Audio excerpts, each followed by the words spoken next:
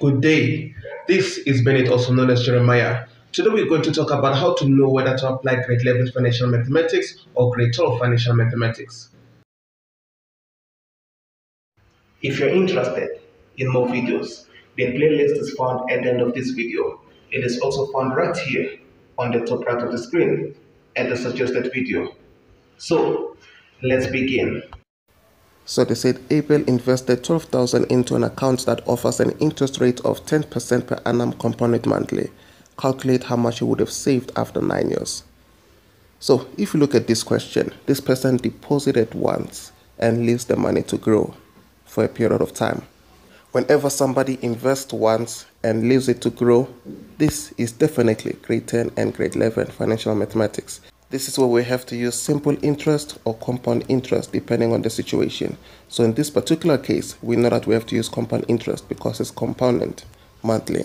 So as long as they tell us it's compounded, we know that we have to use compound interest. So whenever money is deposited only once, it is guaranteed that it is the lower grades financial mathematics, right? Either simple interest or compound interest. The difference between grade 12 financial mathematics and the other grades financial mathematics is what we call annuity situation. So, grade 12 financial mathematics is based on annuity. This is when you know that definitely you have to use either the present value or the future value formula. So, an annuity situation is when a person keeps on depositing or keeps on withdrawing the same amount for a consistent period of time. For instance, somebody depositing 1.5 every month. So the amount has to be consistent and the period must be consistent. So this person will deposit either every month or every year or every quarter, which is three months, or every six months, which is twice a year. So when you see a person constantly depositing money or constantly withdrawing money, this is an annuity situation. So this is when you use either present or future value. Alright, here is another scenario. So you're told, suppose that Precious invests 500 every month for a period of 8 months, starting 1 month from now. Her interest is 9% per annum compounded monthly. Calculate the value of her investment at the end of 8 months after she has made the 8th payment. So, what you have to notice is this particular portion she is investing 500 every month. So it's not money that has been left once off and grows. It's money that is consistently being deposited into an account while it is growing. So this is when we know that we have to use either the future value or the present value. So in the next video i'm going to talk about present value and future value and the actual questions and how to apply them. I'm also going to talk about the three point check. Apparently the majority of students don't know the three-point check and yet this is what should always be used whenever it is an annuity situation. In this particular video, I want you to know the clear difference between grade 11 financial mathematics and grade 12 financial mathematics because eventually both of them do come out in the final exam. Let me show you two more examples before we call it a lesson.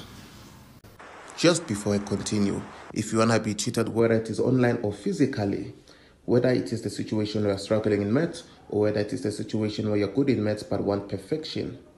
Take a screenshot or save these details.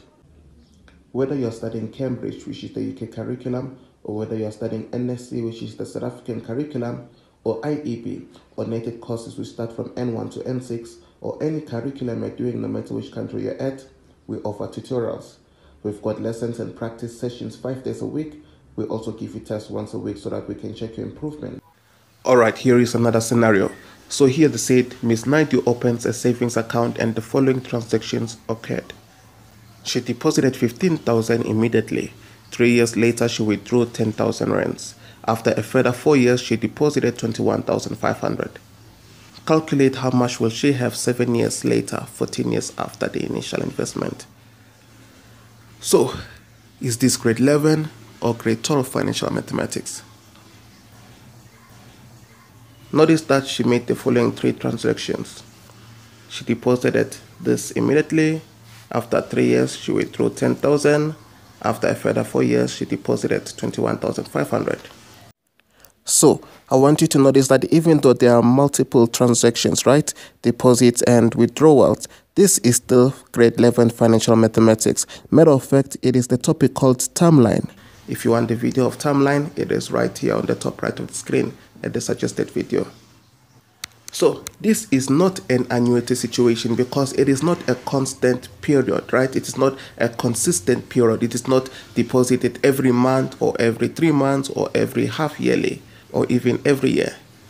So because it is not a consistent period of time and a consistent amount, it is not an annuity situation. So notice that it is not a consistent period. The first transaction is done immediately, the next transaction is done three years later, right? It's actually a withdrawal instead of a deposit. And after a further four years, she deposited 21,500. So it is not a consistent period. Let's go for the last example of this video. Here is another example. Just before we proceed, if you're interested in knowing the prices of the tutorials, the video that contains the prices and the updated contact details just in case these ones have changed is found at the end of this video. Alright, here is the final situation. So they said Gift takes out a loan to buy a car and will pay back the loan over 3 years. He plans to pay 2000 per month starting in 1 month's time. Calculate how much gift will borrow now if the interest rate is charged at 14% per annum compounded monthly. So, is this grade 11 or grade 12 financial mathematics? This is definitely grade 12 financial mathematics because the amount is consistent, right? And it's not deposited once and left to grow. It is actually deposited for a consistent period. So the main difference between grade 11 and grade 12 financial mathematics is annuity situation. So always check, is the person depositing the same amount for the same period of time? Alright, we have reached the end of this video. I have included a playlist of similar type of questions. If you enjoyed this video, please like the video and subscribe to my channel. Any questions you've got or any video you want me to create, please comment below. See you in the next video.